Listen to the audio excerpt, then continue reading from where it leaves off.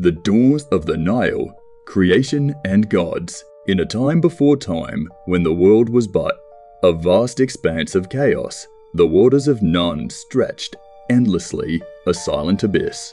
From this abyss, a mound emerged, and atop this mound, the sun god Ra was born. Imagine the first light breaking the eternal darkness, a golden disk rising, bringing life and warmth. Ra wasn't just any god. He was the god of the sun, the bringer of light. Every morning he embarked on a journey across the sky, and every evening he descended into the underworld. But his journey wasn't without challenges. Each night, he battled the serpent Apep, a creature of chaos, to ensure the sun would rise again. But Ra wasn't alone in shaping the world. From his tears, humans were born, and from his thoughts, other gods and goddesses emerged.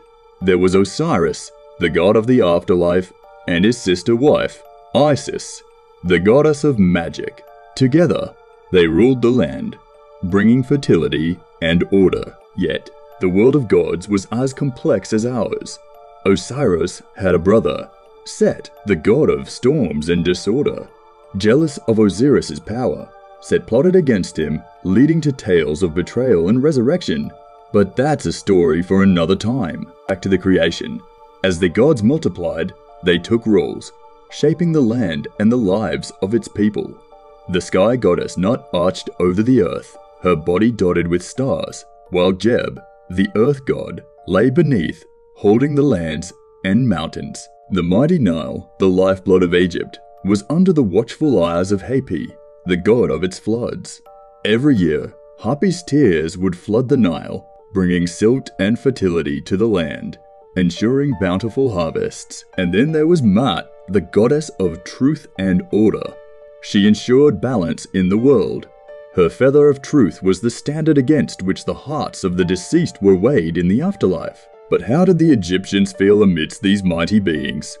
They believed that the gods walked among them, guiding their pharaohs and ensuring Ma'at art balance and order.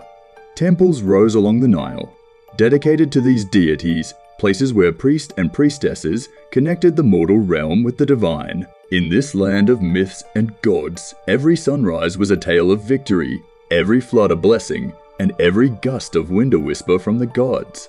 The ancient Egyptians didn't just believe in these stories, they lived them. For them, the tales of gods and creation weren't just legends, they were the fabric of reality, the threads that wove their daily lives. And so, as the sun sets on our tale today, remember the dawn of the Nile, where amidst the waters of chaos, life emerged, gods were born, and the story of a civilization began.